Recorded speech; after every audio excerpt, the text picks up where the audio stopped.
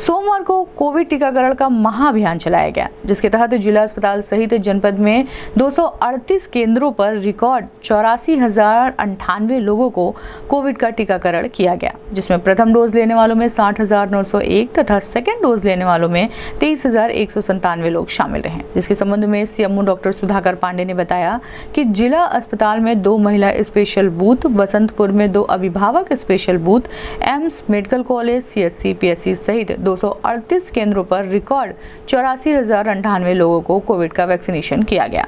CMO doctor Sudhakar Pandey ने बताया कि बदलते मौसम में बच्चों में निमोनिया होने का डर बना रहता है। इन्फेक्शन तथा बुखार हो सकता है। अगर इस तरह के लक्षण दिखाई देते हैं तो सरकारी अस्पताल पर जाकर डॉक्टर से सलाह लेकर ही इलाज कराएँ। किसी झोला छाप डॉक्टर या अन्य जगहों पर ना जाएँ। उन्होंने बताया कि अगर बच्चों में किसी तरह का कोई इन्फेक्शन बुखार, सर्दी, जुकाम खांसी होता है तो पढ़े लिखे डॉक्टर के पास जाकर बच्चे का इलाज करा सकते हैं। जिला अस्पताल में सभी प्रकार की दवाइयाँ और जाँच की सुविधा उपलब्ध है। इस संबंध में गोरखपुर न्यूज़ से बात करते हुए सीएमओ डॉक्टर सुधाकर पांडे ने कहा।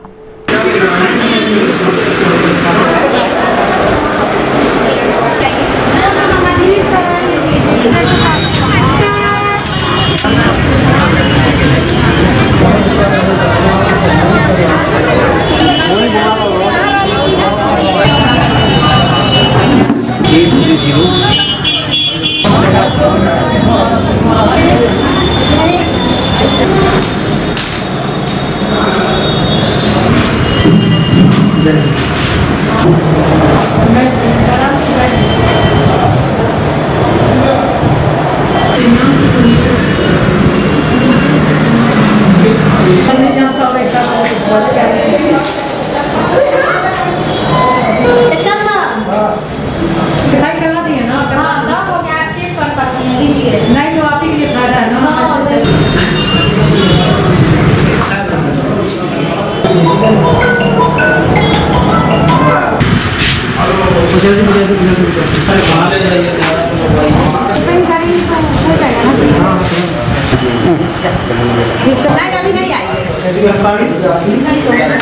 आज हमारे ज़िले में दो सौ अड़तीस जगहों पर अभी वैक्सीनेशन चल रहा है।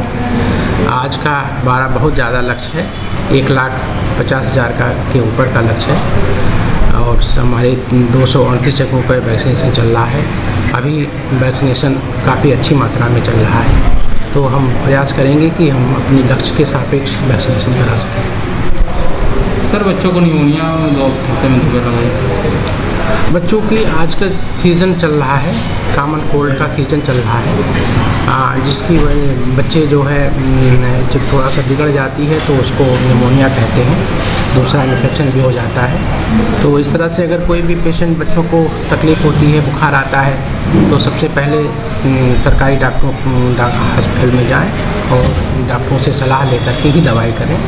किसी झोला छाप या अन्य जगहों पर ना जाएँ जैसे कि काफ़ी जब गुजर जाता है, तभी निमोनिया होती है। पहले तो फीवर होता है इन्फेक्शन हुआ, उसके बाद फीवर होता है। फिर निमोनिया लेट स्टेज की है। तो उसके पहले अगर इलाज हो गया तो बहुत ही सुरक्षित बच्चा रहेगा। तो हम सबसे अपील करते हैं कि अगर बच्चों में कोई तकलीफ़ होती है, बुखार आता है हल्की फुल्की खांसी आती है तो पढ़े लिखे डॉक्टर के पास जाएँ। हमारे अस्पतालों में बहुत अच्छी सुविधाएँ हैं। सभी तरह की दवाइयाँ उपलब्ध हैं, सभी तरह की जांचें उपलब्ध हैं। डेंगू किट हम छोटे छोटे सेंटरों पर दे रखे हैं। रैपिड किट है जो कि तुरंत बता देती है कि डेंगू ससेप्टेबल है या आपके पास है। जब अगर हल्की सी वहाँ के पास डिप्टी आती है तो हम उसी सैंपल को जिला अस्पताल मंगाते हैं और कन्फर्मेटिव टेस्ट कराते हैं।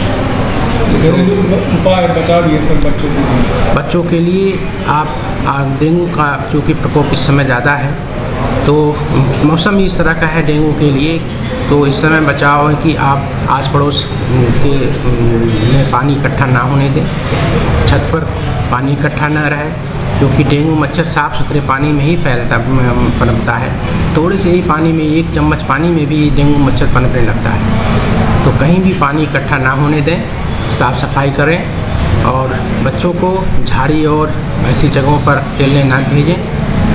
बच्चों को फुल माह का कपड़ा, पूरे पैर तक ढका बच्चों का कपड़ा रहे। इस तरह से मच्छर नहीं काटेंगे और हम इस बीमारियों से बच्चों को सुरक्षित रख सकते हैं।